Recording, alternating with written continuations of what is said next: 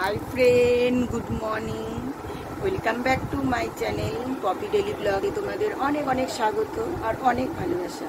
তো বন্ধুরা, তোমরা সবাই কেমন আছো? আশা করি তোমরা সবাই অনেক ভালো আছো।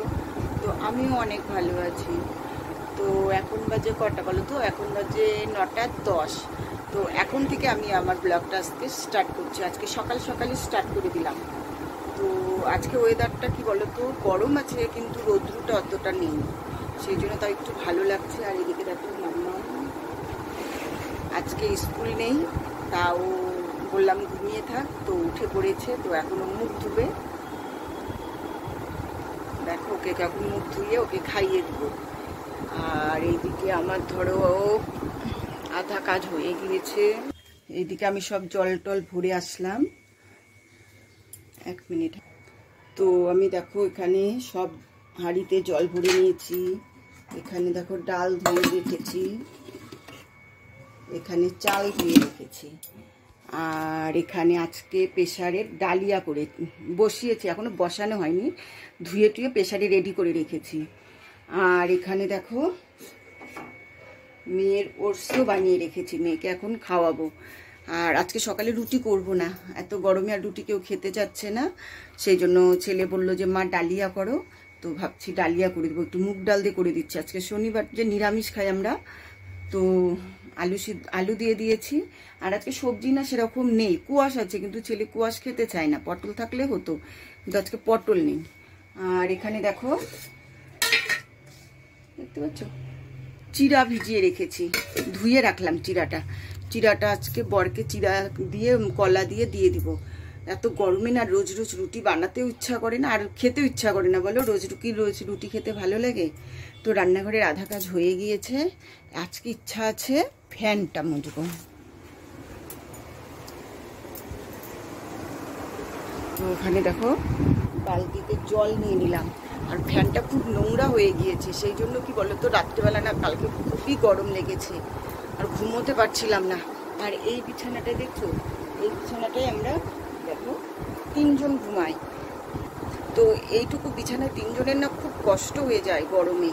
মানে এত অস্থির অস্থির কালকে লাগছিল না, আর মেঝেতে যে এসে শুবো মানে মেঝেতে শুলে না শরীরটা সকাল উঠলে না ভার হয়ে যায়। সেই জন্য আর মেঝেতে শুইনি। আর কালকে প্রচণ্ড গরম লেগেছে, রাত্রে ঘুমই হয়নি। তো চলো, এখন কাজগুলো করে নিই ফটাফট, মেয়েকে দেখো শুয়েই আছে। বললাম, তুই গিয়ে একটু মুখটা ধুয়ে আমি খাইয়ে দিচ্ছি। না, হবে না, তোমাকেই করিয়ে দিতে হবে। তো চলো আগে মেয়েকে করিয়ে দিই, পরে আবার আসছি। কি হলো? পরে আসছি। খুব ফ্যানটা কত নোংরা হয়ে আছে, ওই জন্য ফ্যানের হাওয়া লাগে না। দেখতে পাচ্ছ? এত নোংরা পড়ছে ফ্যানে। এক মাস আগে মুছেছিলাম ফ্যানটা, তাও এত নোংরা পড়ে গিয়েছে। আর এদিকে দেখো মাম্মাম পড়তে বসেছে, তো এখন আমি ফ্যানটা দেখো বন্ধুরা, এবার আমি ফ্যানটা মুছে নিচ্ছি। আর ফ্যানটা না এত নোংরা হয়েছে, তোমার হচ্ছে এক মাস আগেই আমি ফ্যানটা মুছেছিলাম। তাও ফ্যানটা যে এত নোংরা হয়ে যায় না, দুদিন পর পরই ফ্যানটা নোংরা হয়ে যায়। আর আমি বিছানার উপরে একটা টুল নিয়ে নিয়েছি, টুল নিয়ে ফ্যানটা পরিষ্কার করে নিচ্ছি। প্রথমে একটু কাপড় দিয়ে মুছে নিলাম, তারপরে সার্ফের জল দিয়ে হালকা করে একদম মানে চিপে নিলাম। চিপে নিয়ে একটু মুছে নিচ্ছি। তো পরিষ্কার হয়ে গিয়েছে ভালোই ফ্যানটা। আর এখন হাওয়াও ভালো হয়ে গিয়েছে। তো ফ্যানের জন্যও কিন্তু ফ্যানে নোংরা পড়লে দেখবে যে হাওয়াটা কমে যায় বলো? তো ফ্যানটা মানে মুছে নিলে পরিষ্কার থাকলে তা দেখব কি মনটাও ভালো লাগে যে আর ফ্যানে যখন বন্ধ থাক বন্ধ করি না ফ্যান তো এখন বন্ধ করাই হয় না। আর যখন বন্ধ করি যখন ফ্যানের দিকে তাকাই দেখি ফ্যানটা এত নোংরা পড়েছে তো সময়ই হয় না নোংরাটা মানে এবার দেখো ফ্যান পরিষ্কার করে এসে আবার ঘর ঝাড়ু দিয়ে নিলাম। ঘরের মধ্যে নোংরা পড়ে গিয়েছে, ফ্যানের সব নোংরাগুলো ঘরের মেঝেতে পড়েছে। তো সকালে একবার ঘর ঝাড়ু মারা হয়ে যায়, তো আবার এখন ঘরটা ঝাড়ু মেরে তারপরে মুছে নিব। তো তোমরা চলো ভিডিওটা পুরো দেখতে থাকো। আর এদিকে দেখো মাম্মাম বিছানায় পড়তে বসেছে। আর চলো তোমরা ভিডিওটা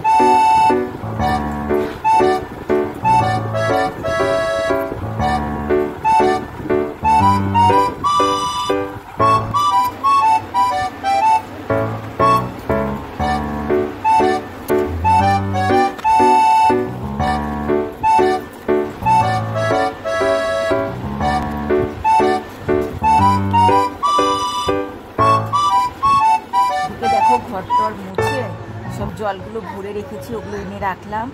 আর সব বোতলগুলো খালি হয়ে যায়। এগুলো আমি আবার সার্ফ দিয়ে ধুয়ে তারপরে জল ভরি।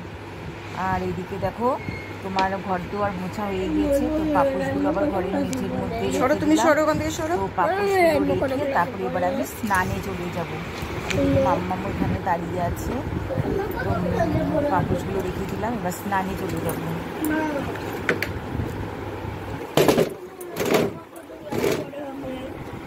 Hi friend. আবার দেখো অনেকক্ষণ পরে চলে আসলাম স্নান সেরে। তারপরে গিয়েছিলাম মেয়ের হচ্ছে ছাত্র স্কুল থেকে ডেকেছিল। অঙ্গনাথের স্কুলগুলো হয় না, ওখান থেকে ডেকেছিল যাওয়ার জন্য। তো ওখানে গিয়েছিলাম।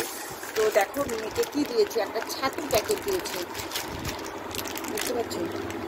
এই যে পুষ্টি, এই বলে খুব পুষ্টি। এক চামচ করে গরম দুধে হোক, জলে হোক, গুলিয়ে খেতে হবে। তারা ওইদিকে আমার প্রেশারে সিটি পড়ে যাচ্ছে। তো এদিকে দেখো ডালিয়াটা বসিয়েছি।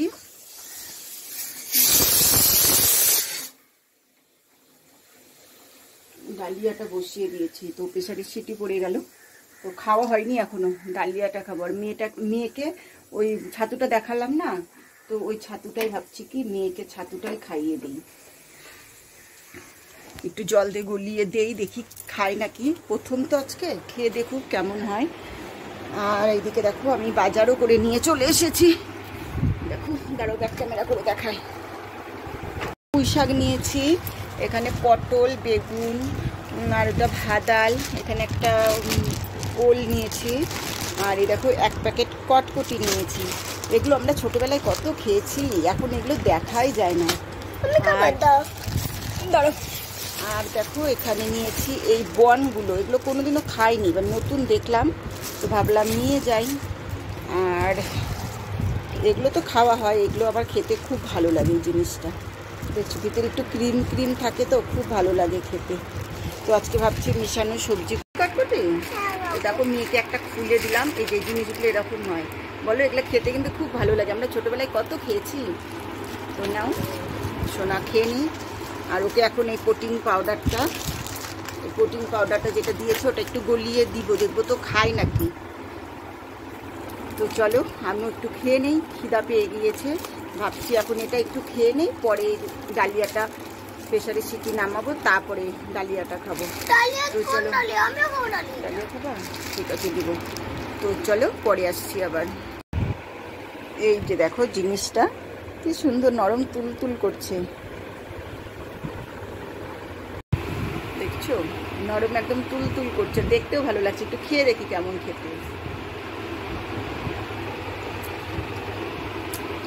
সেটা হবে না। ও কটকটি হচ্ছে তো ভালো আছে। খেয়ে পরে আবার। এটাকে খুললাম হ্যাঁ। ছাতুটা কীরকম কালার দেখতে পাচ্ছ? হোয়াইট কালার একদম। ছোটো, পড়ে যাবে পড়ে যাবে। তো এক চামচই জলে গুলিয়ে দিচ্ছি। তো দেখি, তো খাই নাকি? হাওয়া লাগে না কেন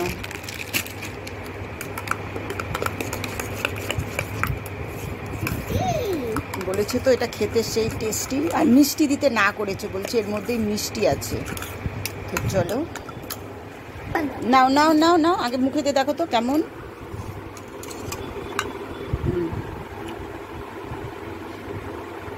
টেস্টি আছে, ভালো আছে? খাও। তোর বলে ভালো লাগছে। তো খেয়ে না পুরাটা তারপরে দেখো, খেয়ে দিয়ে তারপরে বসে পড়লাম সবজি বানাতে। তো এখন ফটাফট রান্নাটা বসিয়ে দিতে হবে। না, অনেক দেরি হয়ে যায় আর আমার রান্না করে উঠতে উঠতে না অনেক দুটো বেজে যায়। তো তাড়াতাড়ি সবজিগুলো কেটে নিয়ে, আর মিশানো সবজি করব। তো মিশানো সবজিকে তো কাটতে টাইম লাগে। আর এদিকে দেখো, মাম্মামকে একটু চিরা দিয়ে ওর পাপাকে যে দিয়েছিলাম সকালে, ওটা একটু রেখেছিলাম। তো মাম্মামকে একটু দিলাম, তো দেখি খায় নাকি। তো একটু খেয়েছিল, তারপরে আর খাইনি তো চলো আমি সবজিটা আগে বানিয়ে নিই সকালে যে উঠেছি, আজকে একটু দেরি করে উঠেছি, সাড়ে সাতটায় উঠেছি। তো সকাল থেকে ওঠা থেকে এখনও পর্যন্ত কিন্তু একটু বসিনি। তো এখনও কিন্তু খাওয়াও হয়নি। তো এইভাবে কাজ করতেই থাকি, চলতেই থাকে। একটু বসার তো টাইম নেই। তারপরেও শুনতে হয়, আমরা মেয়েরা বাড়িতে সারাদিন কি করি? আমরা সারাদিন বুঝি মোবাইল দেখেই আমাদের দিনটা কেটে যায়। কোনো কাজ কাম নেই। মানে ছেলে মানুষরা বাড়িতে আসে যখন, তখন তো ধরো আমাদের অতটা কাজ থাকে না। তখন যেই মোবাইলটা হাতে নেই, তখনই ভাবে এরা বুঝি সারাদিন মোবাইল দেখে এদের দিন কেটে যায়। তো আমরা যে কাজ করি, আমাদের কাজের তো কোনো পয়সার পাওয়া যায় না। সেই জন্য বলো, আমাদের কাজের কাজটা কারোর চোখেও পড়ে না। চোখে দেখা যায় না। আমরা যদি কাজ, আমাদের কাজের যদি পয়সা পাওয়া যেত বলো, তাহলে আমাদের কাজটাও চোখে দেখা যেত। তো কি করব? এইভাবেই তো চলতে হবে। তো তো ফটাফট সবজিটা কেটে নিই। তারপরে দেখো মেয়েকে একটু ডালিয়া খেতে দিব। তো ডালিয়াটার মধ্যে একটু ভালো মেয়েকে খেতে দিয়ে দিলাম। তো মেরে নেড়ে চেড়ে রেখে দিল। ডালিয়াটা কিন্তু পুরো খাইনি তারপরে সব ফেলে দিতে হলো। আর এদিকে দেখো মিশানো সবজিটা কাটা হয়ে গিয়েছে। তো ভাবলাম বসিয়ে দেই। তো কড়াইয়ে তেল দিয়ে পাঁচ মশলা সম্বার দিয়ে একটু তেজপাতা শুকনো লঙ্কা দিয়ে সবজিটা বসিয়ে দিলাম। আর কাঁচা লঙ্কা দিয়ে দিলাম। দিয়ে সবজিটা হলুদ লবণ দিয়ে বসিয়ে দিয়ে মানে বসিয়ে দিয়ে একটু ঢেকে দিলাম। তো সবজিটা হতে থাক এদিকে আমি ততক্ষণে মাম্মামাকে স্নান করিয়ে মাম্মামকে রেডি করিয়ে তারপরে আবার এসে রান্না বসিয়ে দিয়েছি। তারপরে তোমার বেগুন ভাজা করে নিয়েছি আর ডালটা সম্বাদ দিয়ে দিয়েছি। আর রান্না দেখো করেছি। পুঁই শাকের বড়া পাঁচ মিশানো সবজি পুঁইয়ের পাতাগুলো ছিল তো ভাবলাম পুঁই শাকের শাক, বড়া করে নেই আর দেখো মিশানো বেগুন তারপরে তোমার কুয়াশ আছে, কচু আছে আর কাঁঠালের বিচি। এটা দিয়ে একটা সবজি করেছি, এখানে বেগুন ভাজা আর এটা দেখছ, এটা পুঁই শাকের পাতার বড়া। শুধু চালের গুঁড়ো দিয়ে করেছি। আর এখানে দেখো এটা কচু মাখা আর এটা আলু সিদ্ধ। আর এটা হচ্ছে তোমার মাসকালের ডাল আছে, এর মধ্যে মটর ডাল নেই। ছোলার ডাল মাসকালের ডাল, মুগ ডাল মিলিয়ে আর এই যে কচু দিয়ে ডালটা করেছি। এই ডালটা না খেতে খুব টেস্টি লাগে। আর এখানে তো ভাত, তো আজকে এটাই রান্না করেছি। তারপরে দেখো, খাওয়া ধাওয়া সব কমপ্লিট করে এঠো বাসন মেজের গ্যাস মুছে তারপরে চলে এসেছি তোমার জামা কাপড় ভাজ করতে। তো এখন জামা কাপড়গুলো সব ভাজ করে নিব। নিয়ে ঘর দুয়ার ঝাড়ু মেরে নিব। নিয়ে তারপর একটু রেস্ট নিব। তো ভিডিওটা আমি এখানেই শেষ করে দিচ্ছি। তো তোমাদের যদি আমার ভিডিওটা ভালো লেগে থাকে তাহলে প্লিজ একটা লাইক করে দিবে কমেন্ট করে দিবে। আর যারা নতুন দেখছ তারা প্লিজ আমার চ্যানেলটিকে সাবস্ক্রাইব করে আমার